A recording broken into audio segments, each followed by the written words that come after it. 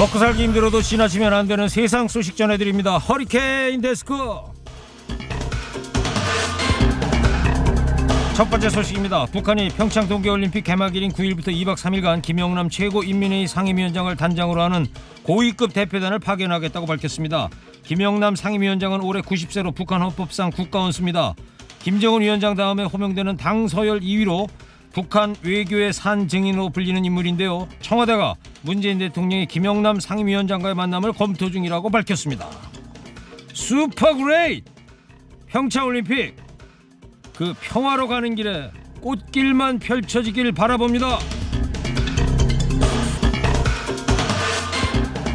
국회 법사위원장이죠. 자유한국당 권성동 의원이 하루 종일 실시간 검색어 1위에 올랐습니다. 현직 검사가 권성동 의원이 수사에 외압을 행사했다고 밝혔기 때문입니다. 강원랜드 채용 비리를 수사했던 안지현 검사는 최종원 당시 춘천지검장에게 갑자기 수사를 조기 종결하라는 부당 압력을 받았다고 주장했는데요. 당시 권성동 의원과 모 전직 고검장 최흥집 강원랜드 전 사장 측근 사이에 여러 번 전화 통화가 오갔다. 심지어 수사 대상인 권성동 의원과 자유한국당 염동열 의원 또 현직 고검장의 이름이 등장하는 증거 목록을 삭제해달라는 상관의 압력도 여러 차례 받았다고 폭로했습니다. 하지만 권성동 의원은 법적 대응을 심각하게 고려 중이라면서 수사 외압 의혹을 강하게 반박했습니다. 당시 고검장과 김수남 당시 검찰총장 최종원 현 서울 남부지검장도 외압 의혹을 부인했습니다. 허허 참네. 법을 이리도 우습게 하는 분이 법사위원장이라니 우리나라 법사위원장의 클래스가 이렇습니다. 네네 심각하게 고려만 하지 말고 제발 법적 대응해서 확실하게 확실하게 시시비비를 밝혀보시죠. 다음 소식입니다. 은행권의 특혜 채용 파문이 확산되고 있습니다. 37명에게 채용 특혜를 준 혐의를 받고 있는 우리은행에 이어서 하나은행과 국민은행도 청탁받은 지원자 75명을 VIP 명단에 담아서 특별 관리해 온 것으로 드러났습니다. VIP 명단에 있는 지원자들은 서류 전형을 전원 통과했고 최종 면접에 오면 100% 합격한 것으로 조사됐는데요. 특히 윤정규 KB금융주지 회장 누나의 손녀는 서류 전형에서 813등을 했지만 4등으로 국민은행에 최종 합격했다는군요.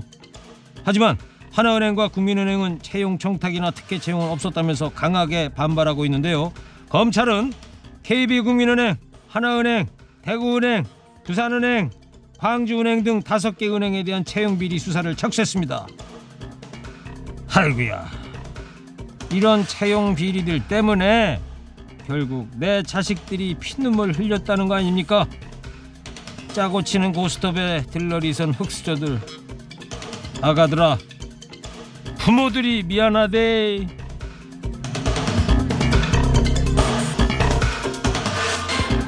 신임 서울중앙지검장으로 임명된 민중기 서울고법 부장판사가 과거 기자들과의 식사 자리에서 음담 패설을 한 사실이 확인됐습니다. 법조계에서 시작된 미투 운동이 사회 전체로 확산되는 가운데 큰 파장이 예상되는데요.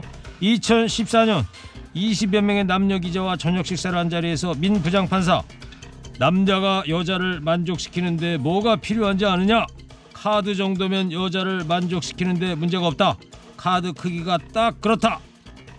이러면서 신용카드의 특정 부위를 빗대 표현한 것으로 전해졌습니다. 며칠 뒤 법원 내부에서 비판 의견이 나오자 민 부장 판사는 식사를 함께한 여기자들에게 사과를 했는데요. 하지만 음담 패설로 무리를 빚은 판사가 주요 고위직을 맡아도 되느냐는 비판의 목소리도 나오고 있습니다. 저기 나 좀 봐요. 우리나라에서 성희롱 논란에서 자유로울 수 있는 판사, 검사를 찾을 수나 있을지 모르겠어요.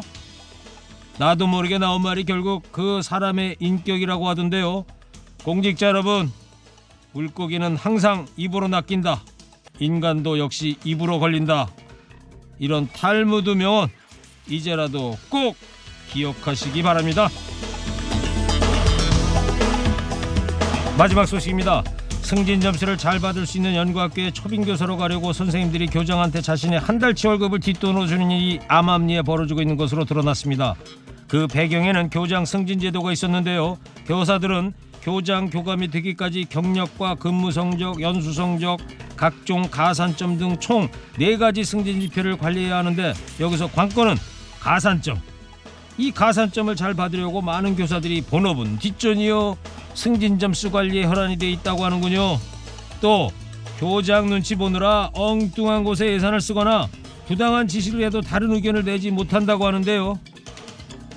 에고 에고 결국 애들 잘 가르치고 애들에게 시간을 쏟는 선생님들은 승진 점수 관리 못해서 승진은 못한다는 겁니까? 교육에는 관심 없고 점수만 따면 교장이 되는 승진제도 저만 이상한 겁니까? 오늘 허리케인 데스크 여기까지입니다. 깨어있는 시민이 됩시다.